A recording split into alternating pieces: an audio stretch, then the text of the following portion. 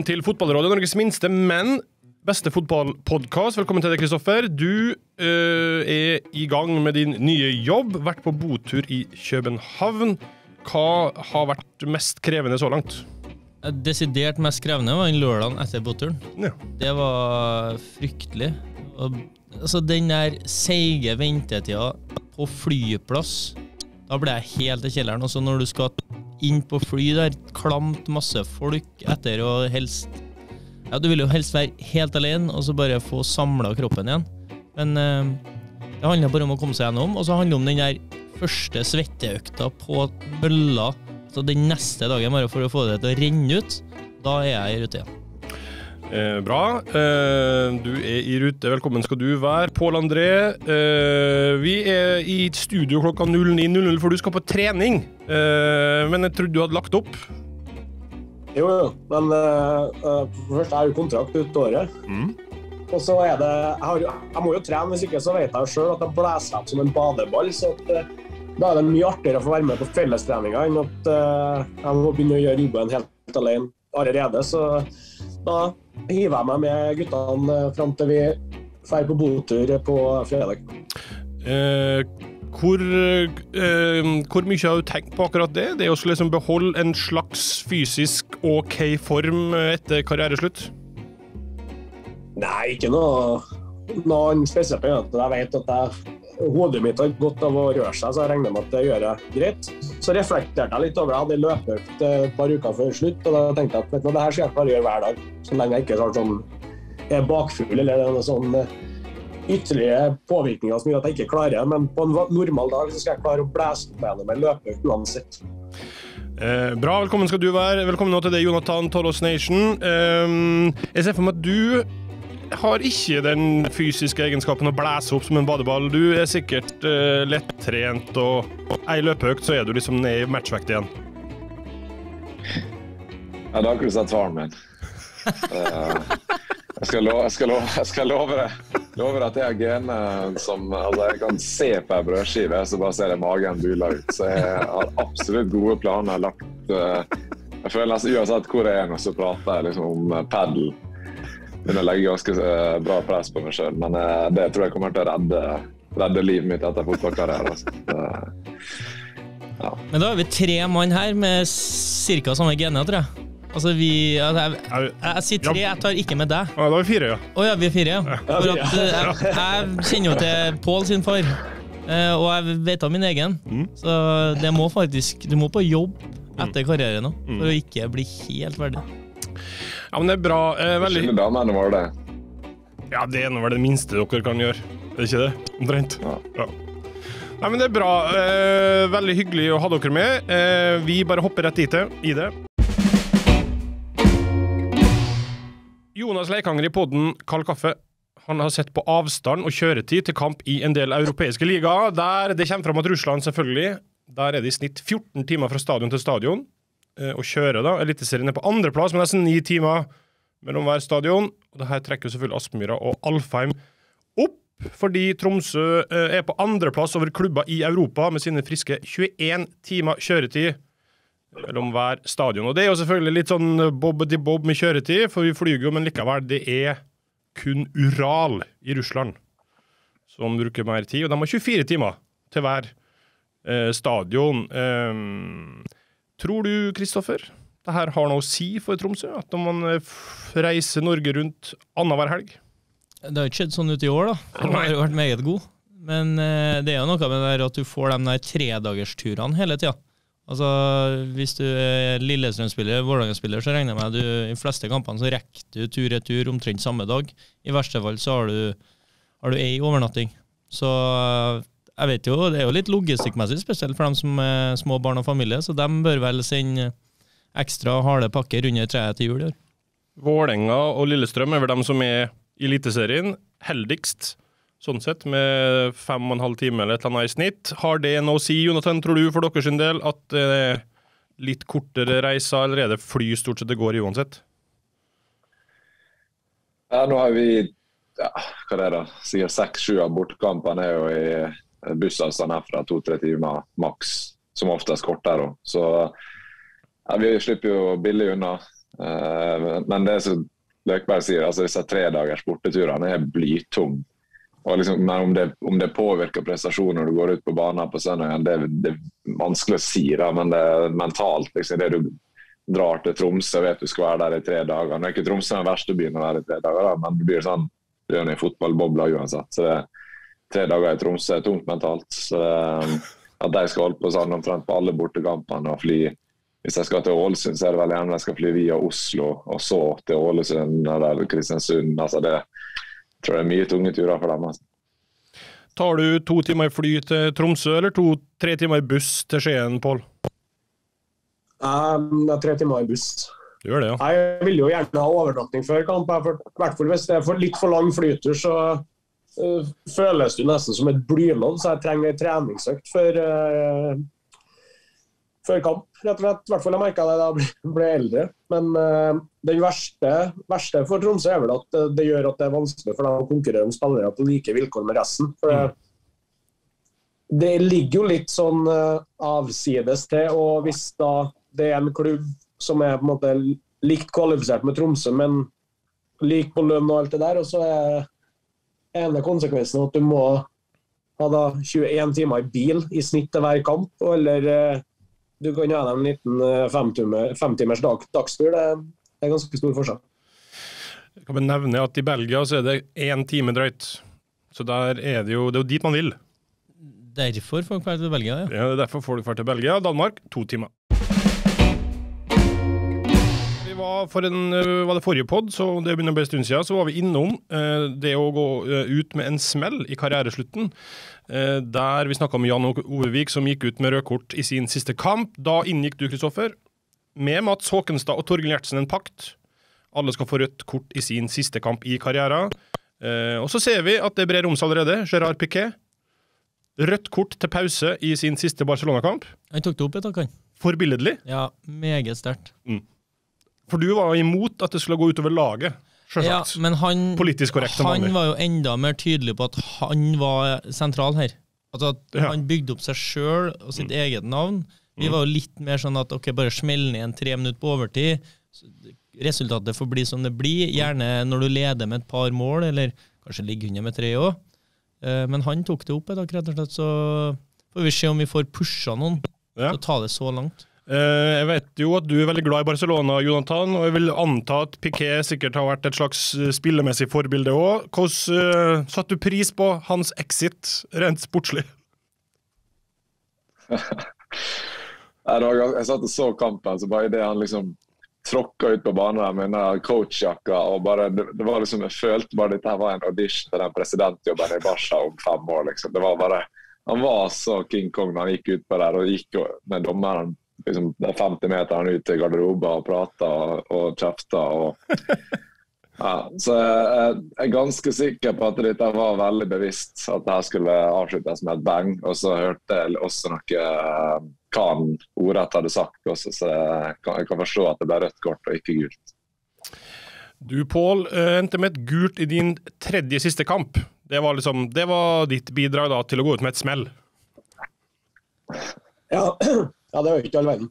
Men uh, det irriterer meg. En ting jeg aldri fikk gjort, som jeg egentlig har lyst til, er jo sånn hvis du har lyst på et gulkort for å bli suspendert, og så i stedet for å tuppe vekk ballen uh, bare for dryg tid, så hadde jeg kunnet tenkt meg bare Hvis et andre laget har hatt frispark, sånn, så hadde jeg bare gått bort idet han har lagt ned ballen, tatt den opp og så blåst den til helvete ut av tribunen, ut av stadionanlegget, bare for å få et gulkort.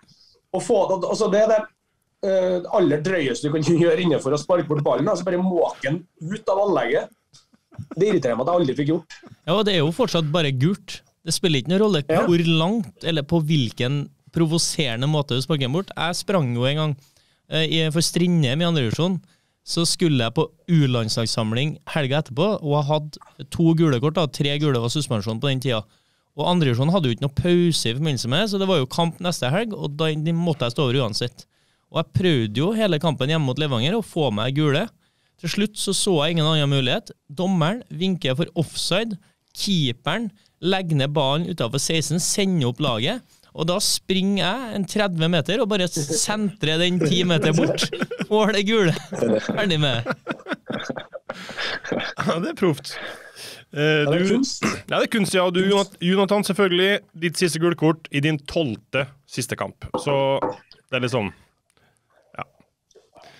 Ja, men, men litt sånn, i forlengelsen av den uh, Løkberg sier det, er det noen som husker Gustave Bahoken på uh! Ja. Ja, mot Lyn. Ja, mot Lyn, ja. Han sto i mur mot Lyn, og så blåser dommeren. Og idet dommeren blåser, så løper han ut av muren, bort til ballen, og bare skyter ballen unna. Altså sparker ballen unna. Og så, bare, og så ser han på dommeren, og dommeren liksom går bort for å gi ham gult, så bare skjønner han liksom ingenting sjøl. Hvorfor skal han få gult kort for det her, liksom. Så ja.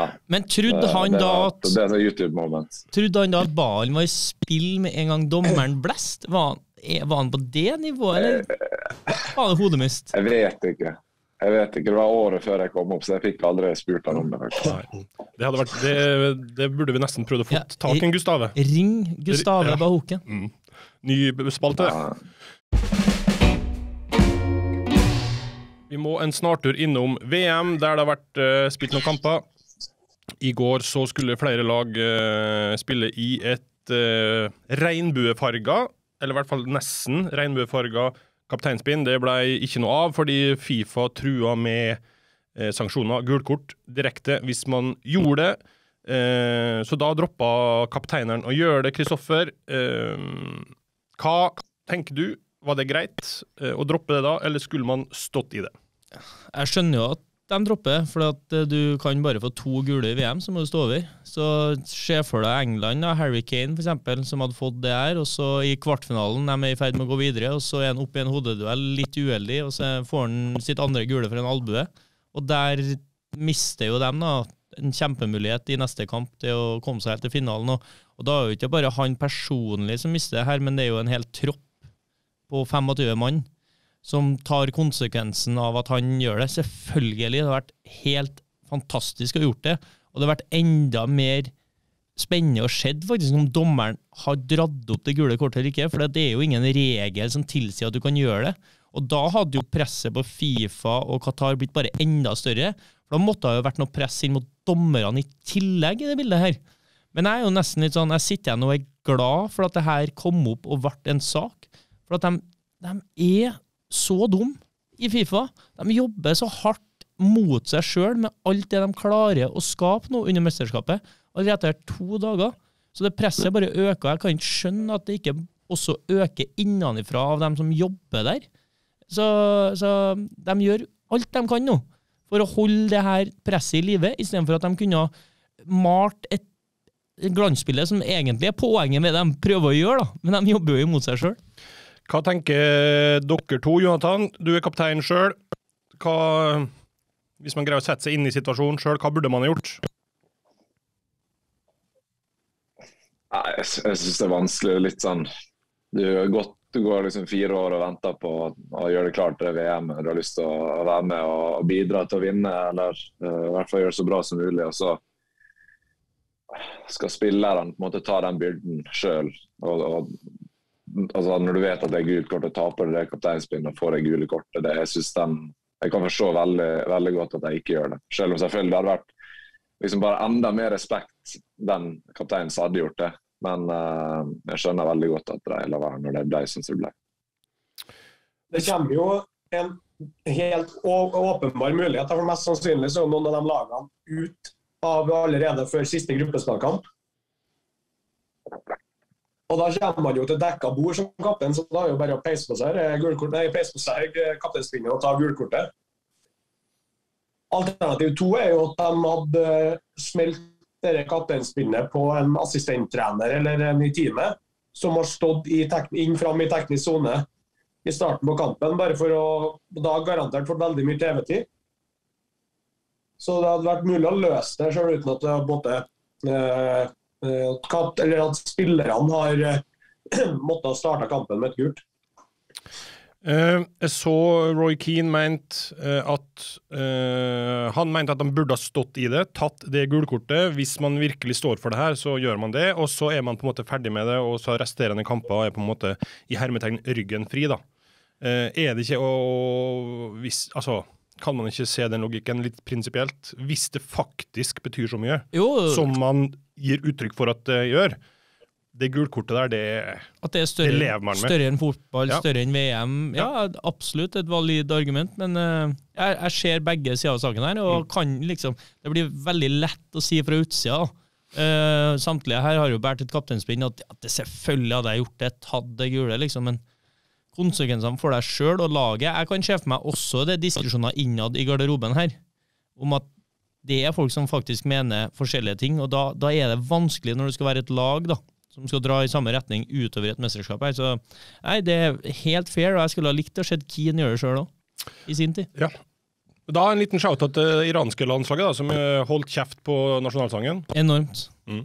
Stor, stor respekt. Og snakka, eller folk i redaksjonen til oss snakka jo med Meran, eh, som Jonathan kjenner, og vi, vi, for vi var jo litt usikre på hvor mye hvor sterkt er det her når vi så det? Vi kjenner jo ikke til det som, som norske statsborgere, ikke iranske, men han sa det her var så mektig og betydde så enormt mye. Så det er jo way beyond det å ha på seg et kapteinsbind. Mm. Men de fikk jo ikke noe, sanksjoner på den måten, men det kan jo kanskje blir verre. Det vil jo tiden vise. Kan bli verre å Det komme hjem ble jo til TV. sensurert på iransk TV. Ja, ikke sant. Mm. Vi går videre. Vi innfører her nå ei ny spalte på på Hæren. Fotballrådet forklarer. Den tar utgangspunkt i statistikk som dere ikke er forberedt på og må forklare. Løken, du eh, selvfølgelig først. Forventa baklengs for Viking 38. Faktiske baklengs 54. Hva er den umiddelbare tanken din rundt hvorfor det har blitt 16 mer baklengs enn expected? Nei, og Det her er jo det vanskelige med fotball, da. og som jeg diskuterer med trenere nå. Fordi at det er sånn Alle peker på at vi er så dårlig defensivt. Og så er det det expected Altså, Jeg blir jo litt svimmel av expected, da, for det er jo så mye som spiller inn. Men noen er jo så sykt lojale til det at de må lurer jo på hva, hva annet kan vi gjøre. Men altså, enkleste forklaringa er at folk har vært effektive mot oss. da. Og så scora på sjanser som vanligvis ikke blir mål. Og jeg kan ikke eh, skylde på Patrick for dårlig keeperspill eh, spesielt ofte. Han hadde én skikkelig tabbe i år, og det var dessverre i Europacupen mot eh, Stoia. Så nei, det er veldig vanskelig. Det er bare at folk har jo, spesielt i høst, har det føltes som folk trenger ikke en halvsjanse engang. Jeg husker Heinz mot oss etter å ha dominert en halvtime mot Sarpsborg, som bare setter den i hjørnet enkelt fra 25, liksom. Eh, Jonathan, 1041 ganger så har en eh, VIF-spiller utfordra dribla én mot én. Det er klart mest i Eliteserien. Eh, hvordan forklarer du det? Uh, nei, det har vært min kjepphest egentlig et par år nå, at jeg syns vi dribler altfor mye. Og det er liksom Jo, men altså, se på de beste lagene rundt omkring i Europa. Da. Se på City. Liksom. Det, er jo, det, det er jo nesten ikke en mann som dribler. De spiller, altså de vinner jo kamper ved å spille bra, ha bra pasningsspill og bevege seg i forhold til hverandre. og Samtidig bevegelser og selvfølgelig siste tredjedel når det kommer én mot én på skuddhold, sånn, så gjerne drible for å få avslutning, men der er det liksom i hovedsak skulle beholde ball. Mens for oss så syns jeg vi ofte liksom kommer ut på ei side så skal drib nei, kantene våre drible. Og, og det er på en måte ikke noe eh, Det har selvfølgelig med spillertyper å gjøre. Nå er jo Samen ekstremt god å drible, så han skal jo gjerne drible litt mer enn snittet. Og Lajoni også er god å drible, men, men jeg syns i hvert fall vi vi mister ball ofte i uh, tidlige angrepene våre, i ugunstig posisjon. Og da ja, har ikke vi balanse bak ballen heller. Så jeg syns det er et av, de største problemene våre de siste, siste par åra. Det er vel egentlig at det ikke har blitt tatt nok tak i. Jeg tror han eh, Dikko Engo skårer ganske høyt per 90. minutt, så dere har noen driblefanter i laget. Eh, OK, Pål. 64% av duellene dere har vært i, er blitt vunnet. Det er nest best i Eliteserien. Hvorfor? Vi har jo et veldig duellsterkt lag. Vi har jo en eh, to-tre to-tre spillere hvert fall, som aldri, nesten aldri taper en duell. Eh, Det hjelper veldig på en, eh, på en statistikk. og så, så er vi veldig sånn power-fotballag fortsatt. Det er ikke et sånn eh, finspillende piano. Det har kanskje sørga for at vi har kasta bort en god del poeng. Altså hjemme mot KBK Tromsø, Odd, et skadeutsatt Viking. Blant annet med at vi, vi er ikke flinke nok til å dominere med ball ennå, så blir det veldig mye innlegg, situasjoner, trykk og power, rett og slett. og da er litt den veien vi har gått de siste to årene, som gjør at uh, det er en styrke. Men også det er en liten svakhet for å ta det neste steget. Eh, bra. Vi tar én statistikk hver til. Eh, vet om Brisja. Han spilte bare 15 kamper, men gikk likevel flest ganger i offside med 24. Eh, ganske, ikke, ja, det er ganske mange flere enn nummer to på lista. Eh, tanke rundt det? Nei, altså Fyren har jo mellom 25 og 35 sprinter i løpet av en kamp. da. Det er jo ekstremt uh, høye tall.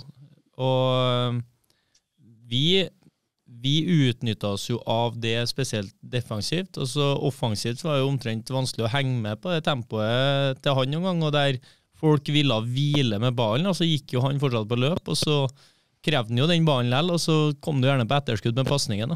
Men det, det er jo også litt sånn viser jo hva vi har savna i en, ikke bare i mål og avgjørende situasjoner, men den påvirkninga det har på spillet, f.eks. For, for en Slatko som ikke starter så mye i bakrom, men som profitterer på at han hele tida strekker i det motstanderlaget og, og, sørger for at de må forholde seg til, eller en type indreløper som Nilsen Tangen, som får det rommet han trenger da, i, mellom linjene pga. de løpene her. Så Veton var jo en veldig mye viktigere spiller på faktisk andre områder enn bare målene han skåra. Så når han skåra 25, eller han gjorde i fjor i tillegg, så sier det litt. Så han er ikke bare dårlig til å holde seg onside? Nei, det hadde vært den eh, korte forklaringa. Ja, det har vært den korte, ja. Mm. Men jeg, jeg, er glad i Veton, så han fortjener den lange. Ja, ja, kan være glad i den likevel. Eh, Jonathan, du har eh, Dette er jo litt, sikkert litt sånn hubba bubba-statistikk, men du har en, en, registrert på sju sesonger 21 sklitaklinger på 15 000 spilte minutt. Eh, til sammenligning så har Pål André 43 på halvparten spilte minutt. Løken 71 på halvparten spilte minutt. Sklitakling, det er ikke ditt Det er ikke en del av ditt spill? Nei, faktisk ikke. Eller faktisk ikke, det er åpenbart. Men uh, nei, jeg har aldri vært særlig glad i sklitakle. eller det vil si Jeg vet ikke, bare det veldig mye til før jeg velger å liksom gå ned og, og takle. Da, for at jeg vet hvis jeg går ned og takler og misser Det er litt sånn selvfølgelig for Pål og Løkberg spiller litt lenger fram i banen, så kan du Konsekvensen av å misse en takling er ikke så stor. Så hvis jeg går ned og sklir og misser på den, så er det på en måte der jeg er alene med keeper. Mens hvis jeg holder meg på beina og blir dribla én gang, så kan jeg på en måte komme på rett side igjen og kanskje bli dribla en gang til og, eller vinne ball. Så det er litt sånn risikovurdering i det, i tillegg til at uh, ja, det, er, det, er, litt sånn, Man sier vel det at hvis man skal ned og sklitak, så har man mest sannsynlig gjort en feil et uh, par sekunder i forkant. Det er noe stolt, stolthet inne i bildet her. Ja. Uh, Strandberg har like mange sklitaklinger som det i år. Dere har tre hver, så det er jo ikke sinnssyke tall. Men han har vel heller ikke spilt i nærheten av like mye som det i år. Så det, noe, det, ligger noe greier her. Det er jo en hyllestatistikk, egentlig. Ja, det er jo egentlig det. Ja, det var som Rio Ferdinand som ikke laga et frispark på ti sesonger, omtrent. Eh, bra. Til slutt, eh, Pål. En, Frid, eh, nei, en Holmbert Fridjonsson. Han lager flest frispark per 90. minutt i Eliteserien. Ja, det er ikke så voldsomt overraskende. Det Det er ingenting han elsker mer enn når det er eh, oddetall på trening og Frode Kippen må snøre på seg skoene, så får han stå og bryte og liksom og tjafse med han på trening. Så nei, Holmert er jo eh, to meter og sterk som et fjell. Og så han kanskje ikke den raskeste, verken i oppfattelsen eller eh, fysisk, og da hamrer han inn i folk. Vi må kåre litt eh, når dere nå har lagt opp. Sesongen er over, karriere er over. Um, vi snakka om det, Kristoffer. Pressekonferanse, ikke. Pål gikk for pressekonferanse. Uh, Jonathan gikk for Instagram og en klubbannonsering. Uh, Hvor mange kan lage en pressekonferanse i Eliteserien? Nei, det er ikke veldig mange. Det er Veldig, veldig få. Men Pål er faktisk en av dem som jeg ville ha lagt inn i kategorien som kan gjøre det, Mm. og som jeg ja, mest sannsynlig hadde verdi av å gjøre det, og der folk hadde interesse av at han gjorde det. Så det var artig, for at vi har snakka om det, at Ja. det er bare helt oppe i toppsjiktet at du kan gjøre det, og de fleste må jo egentlig bare la det skli ut i stillhet, og håpe at noen plukker opp. Men eh, nei, det var fint for det vi snakka om tidligere i sesongen, at Pål tok ansvar og gjorde det. Eh, tror du, Jonathan, la oss si at du hadde hatt ett eller to år eh, i Ålesund på slutten. Der er det lokalmedia. Det er liksom lettere kanskje å få besøk på en eventuell pressekonferanse. Hadde det gjort vurderingene annerledes, eller syns du det, det var behagelig som det var? Ja, først og fremst syns jeg det var veldig behagelig som det var. Jeg, vet ikke, jeg vet ikke om det var Pål sjøl som tok initiativ til det, eller om det var klubben eller liksom press fra media om at de ville det. Men jeg, jeg tror i hvert fall jeg ville nok jeg hadde ikke tatt initiativ til det. Men klart, hvis klubben ville lage en stor greie ut av at jeg legger opp, så er det hyggelig det. det Man blir satt pris på, og man skjønner på en måte at det, det betyr noe. Så så det er fint, det. Men jeg, jeg syns det var veldig behagelig å bare legge ut en post på Instagram og så få et par intervjuer med VIF. Vi har jo, Morten Stokstad er jo eh, medieansvarlig i Lillestrøm. Så eh, jeg blir ikke overraska over pressekonferanse. Men på en måte så blir jeg litt glad for det, for at da tok det 20 minutter, og så var jeg ferdig med media. Sammenligna med at hvis ikke så har jeg blitt nedringt hele dagen etter at det ble eh, hva skal du si, offentlig. Så på en måte så var det greit. Og så var det greit at det møtte opp noen, for det var ikke jeg sikker på. Det er der vi skal utfordre en litt mindre profilert en. Ja. Se om det kanskje er bare han klubbansatte som dukker opp. Ja. Kjører én til én. Eh, bra. Eh, nå skulle egentlig Mikke Karlsen vært med oss òg. Eh, han kunne dessverre ikke. Eh, der ble det ikke noe pressekonferanse. Eh, det ble en Instagram-post der òg. Litt, litt mindre Instagram-post enn med Jonathan. Det ble ikke noe klubb. Nei, eller husker jeg nei, det var noe takking fra deg, men det var ikke den klubbvideoen, nei. Nei. Så det er jo en fin sånn rangering her, uten, altså, uten å fornærme Mikke. Men det Mikke fikk, som var veldig fint, var et sånn profilintervju Mm. i Nidaros, tror jeg det var. Ja. Så, og det var Kjempefint intervju, som han kledde veldig godt. Eh, og Mikke er vel kanskje den av de tre som er nærmest å trappe ned, Ja, og ikke legge opp. det er riktig. Eh, bra. OK, la oss skumme gjennom noen kategorier her jeg har eh, kommet på. Nå, ser... nå har jeg litt insight. Nå, vent, nå kan vi, apropos Mikke Karlsen, før du går videre. Sorry, Vegard. Nei, det er veldig bra, det. Så, så vet jeg at Mikke Karlsen har fått tilbud om å bli spillende eh, assistenttrener med eh, hovedansvar for å trene bygruppa til Kiel Hemne i fjerdedivisjon. For eh, pappa er hovedtrener og har base i, eh, på Kyrksæterøra. Og har kontakta Mikke til å liksom ta ansvar for den gjengen som trener i Trondheim. Eh, umiddelbare tanker rundt det her først fra det, Pål. Ja, nei, eh, Det hadde jo vært stort å se Mikke Karlsen i grønt og hvitt.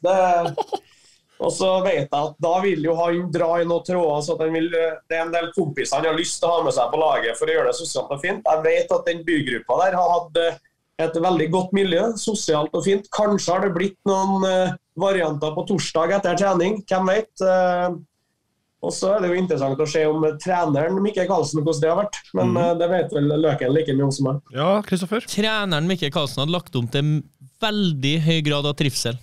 Altså, her i økta til Mikke, det er ikke oppvarming. Det er rett i firkant. Og så kanskje en avslutningsøvelse, der han sjøl kan få stå i ro på 20 meter og klaske til på volley. Og så går, og glir de over i spill, der det er litt sånn Veldig ofte så kan du ta den posisjonen du vil. Altså Hvis du vil spille spiss, ja, spill spiss, og så blir det litt sånn gøy og humor ute. Uh, hva høres det her ut som et opplegg uh, senior Helland kunne vært uh, fornøyd med? At Mikke hadde styrt? Ja. ja. Han er går jo ikke av banen for at det skal være god stemning i lagene han trener han der. Så, men selv om han, han er kanskje litt sånn eh, eggensk eh, og litt gammeldags i si, tankegangen med at uh, han vil ha litt uh, kanskje flere meter i løpet av en trening enn jeg kanskje Mikke hadde ville ha lagt opp til. Det er jo ganske mange som ville, antagelig. da. Det blir ikke GPS på stedet, Mikke. Det blir ikke GPS, nei. OK, bra. Eh, jeg slenger bare ut noen kategorier her, så får eh, dem som eh, har noe, melde, det, melde seg. Vi starter på nummer én. Dette er da enten mm, karrierens beste eller eliteseriens beste. Vi starter på avslutter. Beste avslutter er den som har enten fra karrieren sin eller fra årets sesong. Beste avslutter. Altså, jeg har den jeg mener er Eliteseriens beste avslutter. Mm. Det er Wolf Eikrem. OK. For at jeg, jeg, han skårer på så mange forskjellige vis. Med, altså, han kan klaske den fra utafor 16, han kan køle den i lengste. eh, Men han kan også ta dem rolige, der han bare triller den i hjørnet. Men det her glir jo litt over i fotballhodet til en òg, da. Så det er en kombinasjon her at han, han Jeg skal ikke si er litt som Messi. Det blir for langt. Men hvis vi skjønner tegninga der han ser hva keeperen tenker, og s- gjør det vanskelig for ham på en Så ja, du, det du egentlig sier, er den mest intelligente avslutteren, da. Ja. På et vis. Ja, Ja. men eh, da er du best òg. Ja, det er kanskje det. Hvis du greier å utføre, i hvert fall. Ja. Eh, innspill fra dere to andre, eller hopper vi videre? Ja. Ja. Eh, karrierens eh, Christian Gytkjær. ja. Han eh, trilla ballen ned i hjørnet. Det var ikke verre enn det. Mm. Helt, helt enkelt hele tida. Og ekstremt effektiv. Kristian Gytkjær, Magnus Wolff Eikrem, Jonathan. Eh, vil du videre, eller har du noe her? Nei, jeg også var innom såkalt Greens, tenkte jeg på Eikrem, men jeg sparte den til, uh, til uh, seinere. Så jeg er blank på denne. Kan du ha spart den til kategori nummer to? Eliteseriens karrierens beste fotballhjerne, eller har du noen andre her? Ja, det er nok der han, han faller inn. Altså. Det, det, jeg, ja, jeg tenkte på Jeg spilte med Barantes i Ålesund, og han var, sånn, han var egentlig på Eikrem-nivå. Men Eikrem har gjort det over så mange år. Mm. Og kanskje litt mer målpoeng sånn enn en Barantes. Men Barantes var sånn, han slo en pasning jeg sleit med å slå vanlig, det slo han bare sånn, som tunnelpasninger. Liksom. Så han, eh, han så etter han som ingen andre så. Og det føler jeg litt sånn eh, når jeg sitter og ser på Eikrem, og det er helt eh, ja, Selv når jeg sitter og ser på TV med verdens beste oversikt, liksom, så slår han pasning som jeg aldri ser komme. Så jeg tror nok han er, ja, utenom Barantes, by far den, eh, den beste fotballhodet jeg har spilt, spilt mot. Og med. Du, Pål, har du noe her? Ja, det er jo litt eh, i, i samme kategorien. da. Martin Ødegaard spilte jo i Eliteserien. Eh, Det er jo litt sånn Eikrem, Ødegaard, Ole Selnes. De er litt i den samme kategorien på, på fotballhodet som Når du får pasning fra dem, så har du stort sett litt bedre tid enn når du får det fra alle andre. Mm. Og det er godt, altså det er et eh, kompliment med at de, de gir deg den tida med at de finter motstanderen til å tro at det er noe annet som kommer. Så Mm. derfor, Den får de dele, de tre. Du, han, ja, du trenger ikke å veie inn her, du. Nei, altså, jeg hadde jo litt eh, Anton Saletros eh, på lista. Eh, Syns jo han også slår pasninger med kjærlighet eh, og fortjener en liten shout, selv om det er jo vanskelig å komme bort fra Eikrem. Altså. Eh, kategori tre, den største vinnerskallen man har spilt sammen med, eller ja. Pål? Uh, faen, si det. Mike Jensen. Ja.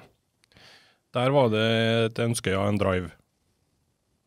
Ja, han var eh, Han var så oppi det med å vinne han, at han klarte ikke Han evna ikke i kampens hete til å bare strekke hendene i været og si at uh, det her var faktisk min feil. Så om han pælma ballen opp på tribunen, så var det vi andre rundt som ikke var raske nok, eller ikke var det vi burde være. Så det krever jo litt egentlig for å håndtere det, men Mike var jo så fin at når han fikk roa seg i pausen, og sånn, så kom han og sa jeg, jeg vet det, beklager, det, det, var, det var min feil. Men ute på banen så var den der viljen til å vinne, til å være god, den stoltheten over aldri å gjøre feil, den var så langt fram i skoene at han tok aldri selvkritikk ute på banen. Så der var det ofte en del spillere som kanskje ikke var trygge nok på seg sjøl, som fikk seg litt bakoversveis i sine første kamper for Rosenborg. Dere to andre, har dere noe her, eller? Eh, Jeg var innom Veton der. Ja. Han òg er beskrives omtrent som Pål her. Anders Lindegård har jeg på den her. Uh. Det var, han kom eh, som eh, relativt ung ganske liksom, til Ålesund og var fersk, men bare tok eh, garderober og liksom med den mentaliteten og tilstedeværelsen, karakteren han Det var liksom ikke sånn nødvendigvis at han Altså, på en annen måte vinnerskalle. Han det var bare sånn du merka liksom, fra, fra han kom til Ålesund at han her kom til å få en stor karriere. Liksom. Han var så Uh, han var så trygg på seg selv, han spredte så mye trygghet uh, rundt seg. liksom, uh, og Det kommer jo tilbake til sosiale ting og alt, men bare sånn det, liksom når du gikk ut på banen der, og den tryggheten han spredte ved å være den vinnertypen som han var Og så er det selvfølgelig, det gikk jo noen sko i taket på tvers av garderoben da du kom inn, og det ikke så bra ut på banen. Men, men det var liksom ja, ikke sånn ikke den du kanskje ser på som den største vinnerskallen for at han var så utagerende, men han var måten han var på. Mm. At du var i garderoben med han, gjorde det så trygg. Og, ja. bra. Eh, neste er kanskje litt likt, jeg vet ikke om vi skal ta med det, men det er den mest kyniske. Er det egentlig samme fyren? Det kan ofte være det. Kan ofte være det. Vi går heller til Nei, nei, den vil jeg, den vil jeg oh, på. Det er bra. Eh, Fordi eh, den mest kyniske, det tror jeg faktisk er Løken. Ja. Og det, han er så kynisk han at om, eh, da vi var yngre og spilte Fifa-turneringer, så drev han og eh, pælma ballen opp på tribunen og leda der til meg. Jeg ville la han passere, da, for jeg ville ikke ha opp sånne. Jeg, jeg drev jo også i Heimdal Indoor og skjøt ballen mot svingdøra på slutten av kampen. For at de stoppa, ikke klokka, så hvis den havna der, så I svingdøra. ja. Ja, det er klasse. Det hylles. Um, elite, eller ja, karrierens mest, eller største ulv i fåreklær. Jeg, jeg, jeg, jeg klarte ikke å gi noen den. Uh, Det kan jo tolkes helt forferdelig. Ja, ja. Det, her tror jeg plutselig at det er noe sånn uh, Kan potensielt være samlivsbrudd, så den må jo bare snu unna. Ja, jeg tenkte det samme. ja. Eh, hva da med den mest undervurderte? Er det noe der? Jeg har en i Ja, Eliteserien. det, Mm. Eh, Filip Jørgensen. Ja. Så jeg syns han er en meget uh, god spiller. Klok, eh, kan bekle mange forskjellige posisjoner, har gjort det for Odd i år. Han eh, har jo ikke de fysiske forutsetningene, han er jo ikke rask og spesielt sterk, og så, men han er rett og slett en god fotballspiller som jeg syns får for lite kred. OK. Pål, skulle du si noe her? Nei, Jeg skulle si at det var Gjermund Aasen helt fram til Lillestrøm, men nå har han jo fått veldig mye dekning på hvor god han er, så det, det er fortjent. Da er han rett og slett over på neste kategori. Er han den mest overvurderte blitt? Har du noen ja, der? vi har en på, har en på undervurdert. Ja, bra. Jeg synes, eh, Nå kan det være å og Løkberg kjenner han bedre enn meg da, som spiller, men, eh, men hver gang vi spiller mot Kristiansund, så syns jeg Kartum er ekstremt god. Eh, jeg, jeg skjønner ikke hva han gjør, og så er han litt sånn til og med litt ut og inn av det Kristiansund-laget til tider, og har vært det i sesongen nå. så han, eh, Det kan være et eller annet jeg ikke ser. for at eh, Jeg ser Kristiansund så ofte når det, utenom når vi spiller mot dem. Men når vi spiller mot dem, så har han vært påskudd påskrudd og vanvittig god. Så eh, for meg så er han veldig undervurdert. Det kan støttes. Ja. Godt innspill. Ja. Eh, bra. Eh, noen som har lyst til å prøve seg på en overvurdert? Eller blir det jo blir litt for hardt? I hvert fall for Kla, aktive. klarer liksom vi å vri det til en hyllest? Det blir vanskelig. Jeg skal noe til, da. Ja. Så jeg så Ole Sæter svarte jo på det spørsmålet, selvfølgelig, men det er jo Ole Sæter. Ja. Det er sant. Hva svarte han seg sjøl? Nei, han, måtte jo, han svarte jo da Slatko Tripic. For at de er jo ikke uh, Slat, Slatko og Rosenborg er jo ikke bestevenner, for å si det mildt. Eliteserien, eh, eller karrierens mest irriterende ekspert?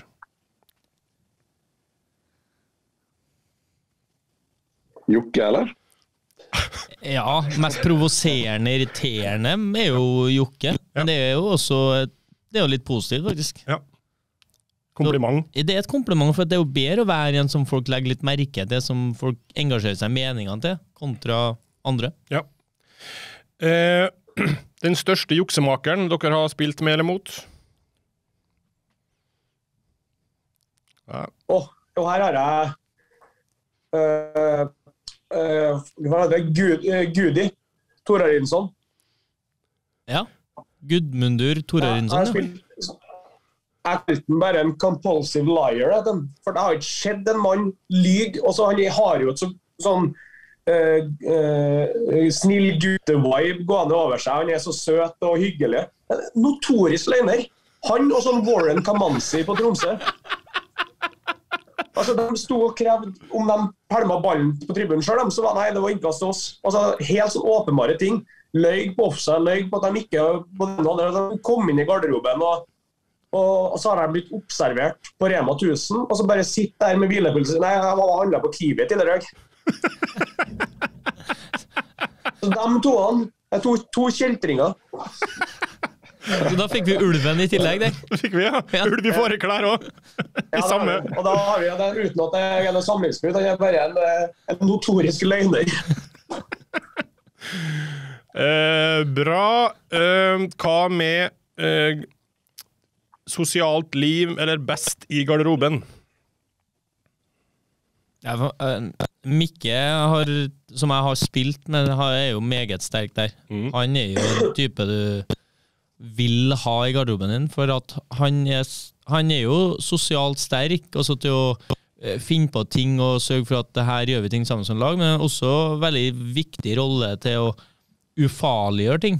Altså Der kanskje andre er litt nervøse eller prega, så var jo han bare sånn helt avslappa forhold til viktige kamper, eller hva det skulle være. da. Så Mikke må få en shout der. Jeg vil inn på eh, Tore Reginussen. Oh, Enormt, eh, kanskje litt undervisert, eh, den eh, humoren hans i en garderobe. Er veldig har bra, bra timing på når han skal ta ting. Husker jeg at det var mange trenersparkinger i Rosenborg, så Jørn Jamfall var jo fast ansatt, så han overlevde jo alltid. Så første møte så roper Tore gjennom rommet til Jørn Jamfall. Faen, Jørn, du er som en kakerlakk, du. Du overlever atomkrigene.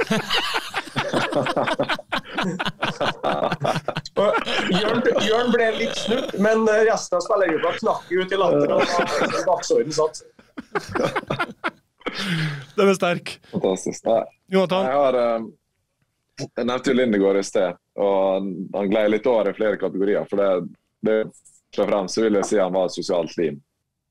Han var Altså, der ble det innført uh, Det er jo typisk kamp søndag, da, så det var en uh, mannsmiddag der som uh, ikke ligna grisen, så jeg tror ikke hadde overlevd i dagens fotball. Ikke at det er sånn superlenge siden, men uh, der var det gjerne inn og restituere mandag formiddag, og så dro han av gårde i tolv-ett-tida innom den lokale slakteren og liksom sendte melding rundt til gutta. Ja, 'Ta med kona deres opp til meg i kveld, det blir mandagsmiddag.' Så sto han liksom og kokkelerte der i tre-fire timer før vi kom på besøk til han.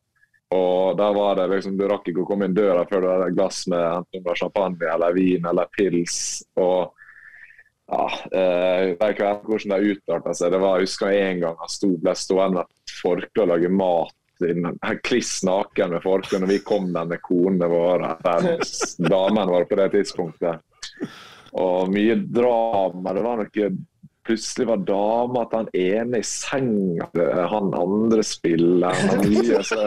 Og Mye, så, så, det, altså, det, det, det, Han startet en swingersklubb i Ålesund.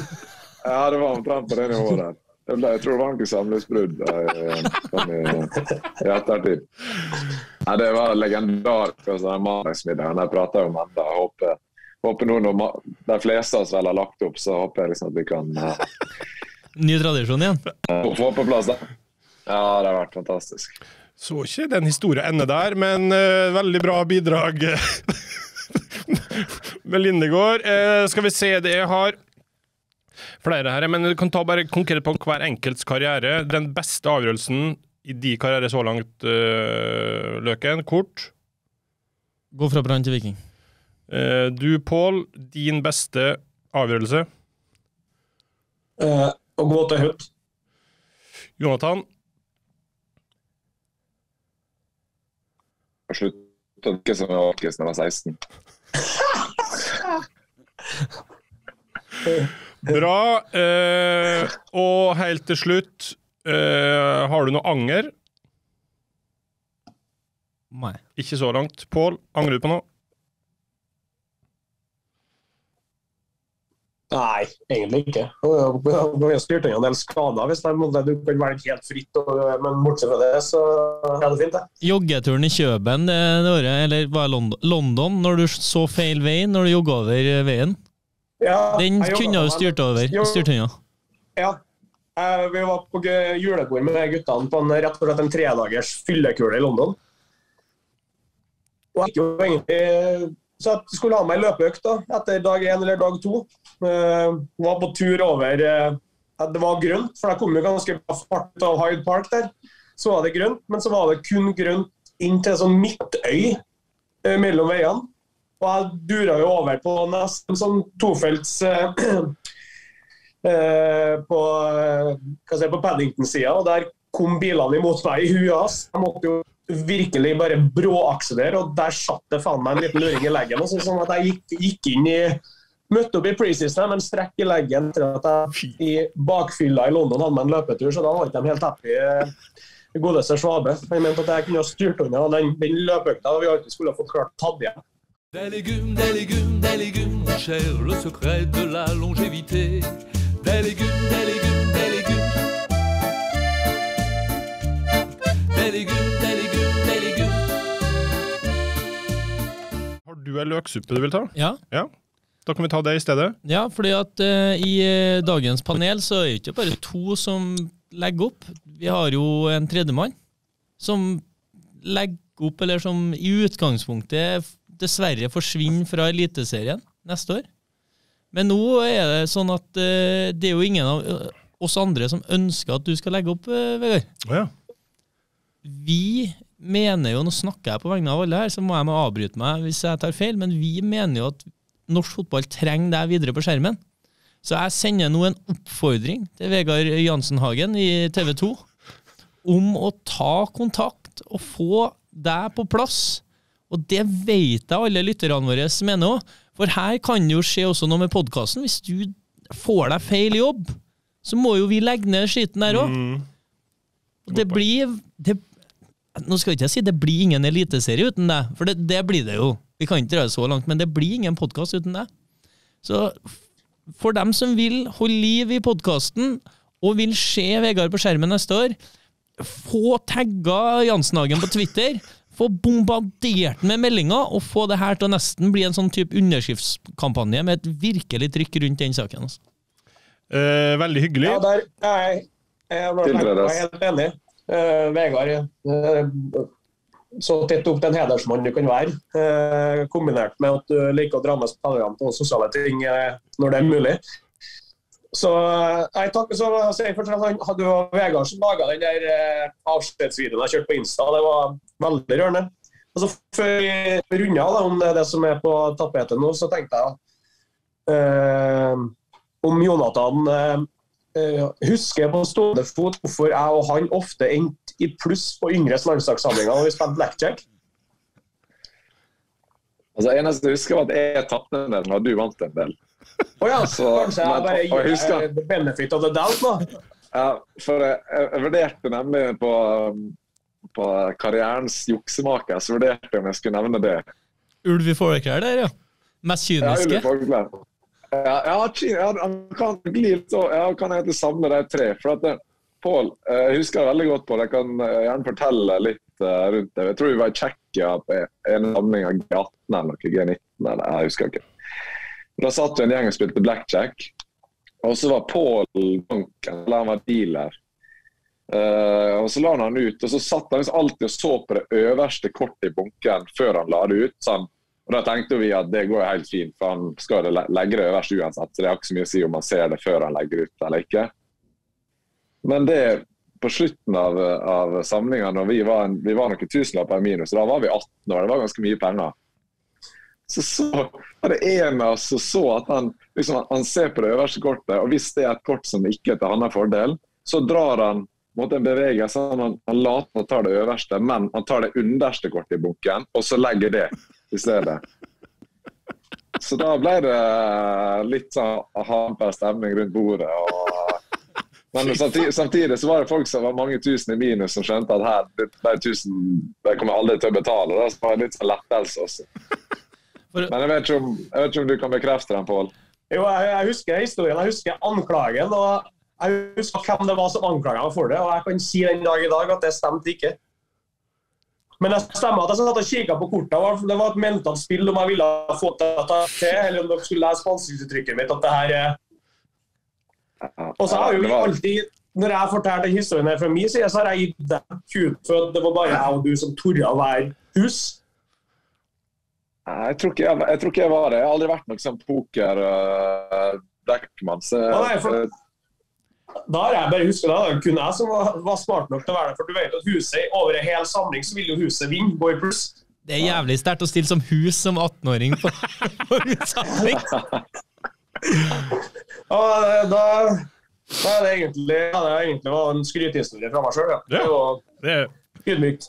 Ja, men altså, jeg kan eh, si da, Jonathan, at det, vi, jeg og Pål har felles eh, kompiser som eh, vi spiller gjerne en kortrunde eller to eller ti sammen. Og det er et par av dem som er veldig skeptiske hvis Pål får notatblokka i Bondebridge. Altså Hvis det er han som sitter og skriver, da har vi i hvert fall én som er veldig hypp på å dobbeltsjekke, og er helt paranoid på at Pål han stryker litt i, når, når det passer seg sjøl.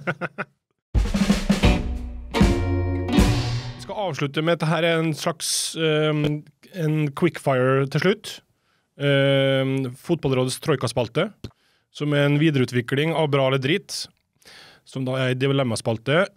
Forskjellen her er at man får tre alternativ med å velge ett. Og her er det ikke rom for å argumentere så veldig mye, egentlig. Så vi ser eh, hvordan det går til her, da. Men uh, Løken, Ranheim, Brann eller Viking? Viking. Uh, Pål, Hødd, Rosenborg eller Lillestrøm?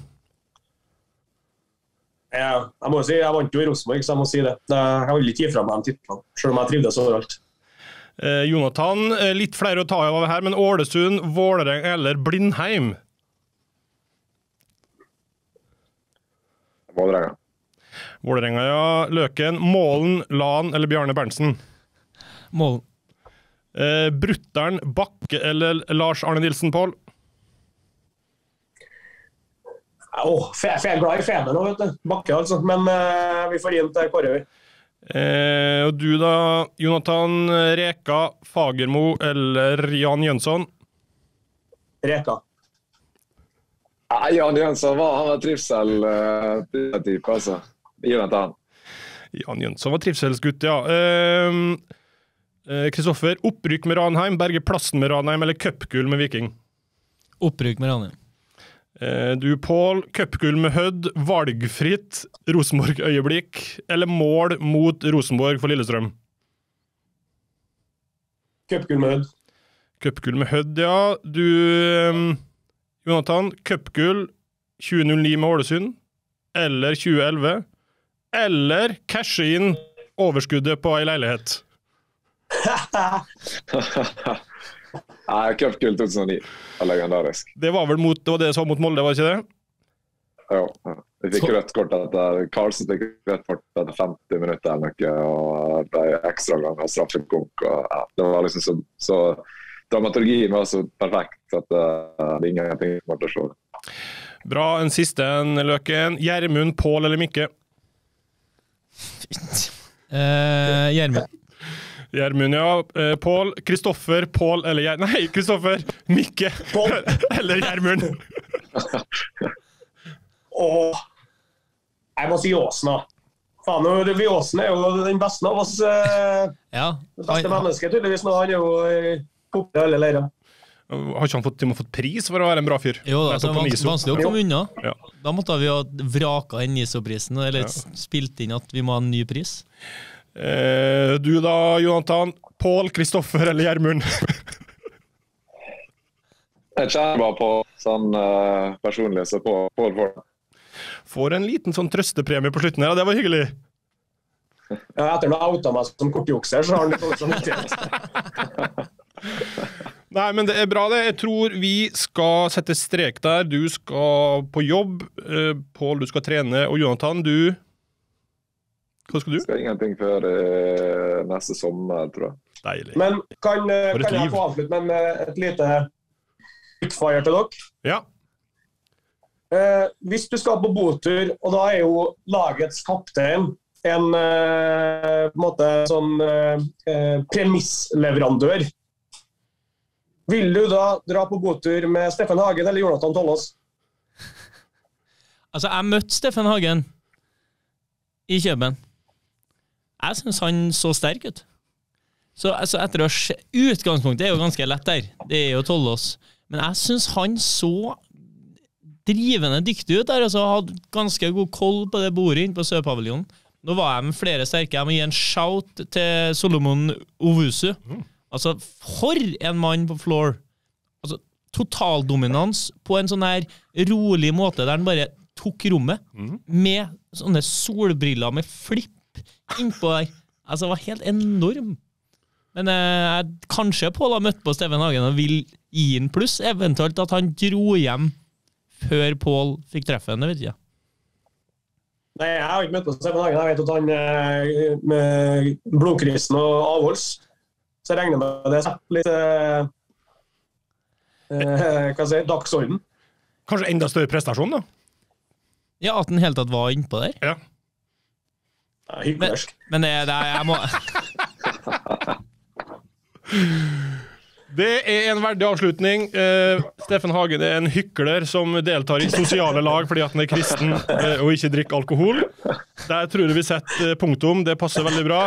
Tusen takk for at du var med, Jonathan. Uh, takk til det, Pål. Og det, Kristoffer. Dette her er vel mest sannsynlig den siste i år, eller? Ja, sesongavslutning. For vi har jo også initiert et julebord. Ja. Og jeg vet jo hvordan det er på arbeidsplassene nå. Etter julebord så er det juleferie. Og da er det bare å la det gli ut. Og så håper jeg jo at vi ses igjen neste år. Absolutt.